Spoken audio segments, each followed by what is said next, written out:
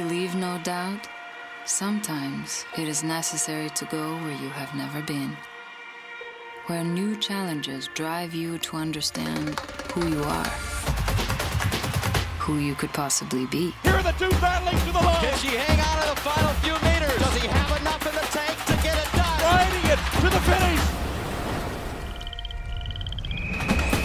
In the summer of 2016, the Olympics are coming to Rio. 17 breathtaking days, 17 incredible nights. Undoubtedly sport's greatest spectacle. Usain Bolt, he's still the king. Oh, oh, my, gosh! Alex Morgan has done it, and it's over! For the first time, Brazil welcomes the world. A new host, new stories, the same glory. Repeat Olympic gold. Faster, higher, stronger.